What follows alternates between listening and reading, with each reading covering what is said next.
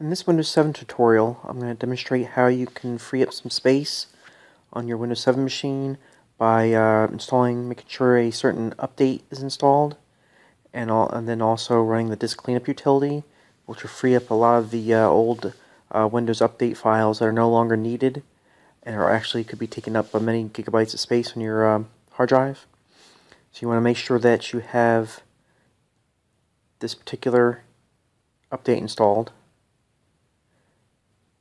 and then once you install that you run disk cleanup and that will uh, free up the space. So uh, I'm going to actually install this update and then I will show you what to do with disk cleanup in a second.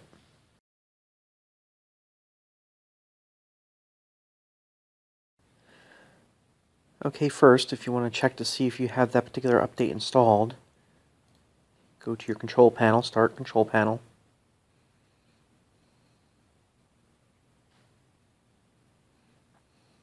Then you go to Programs and Features and click on View Installed Updates.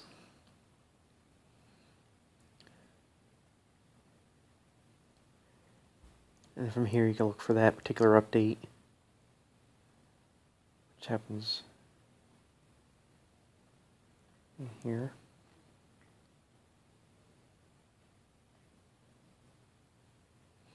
Is this one right here. Once you have the update installed,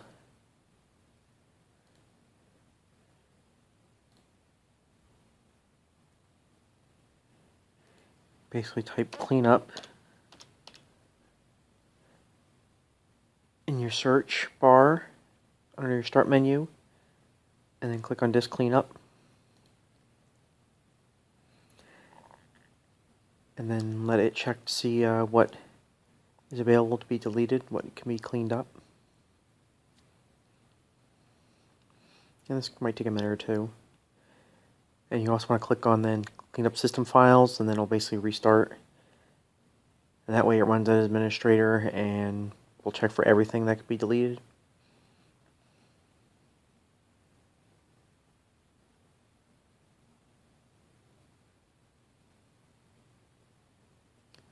So this time's taking a little bit longer because it's actually checking the Windows Update cleanup, which is, should be the largest amount of space that could be freed up.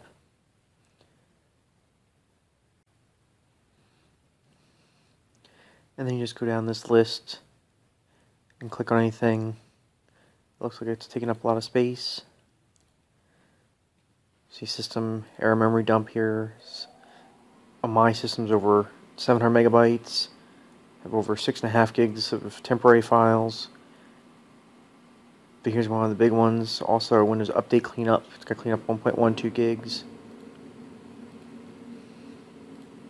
Yeah, let's go through and find the various large ones. So in my case, it's nearly 12 and a half gigs of space.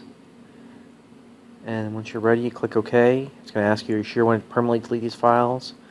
Click Delete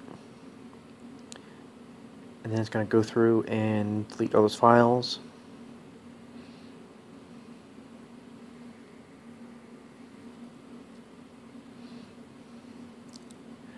And basically once it's done with this, uh, just restart your computer and that space will be freed up.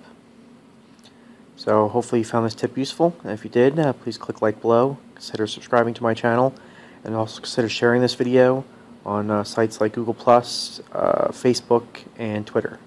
Okay, thank you.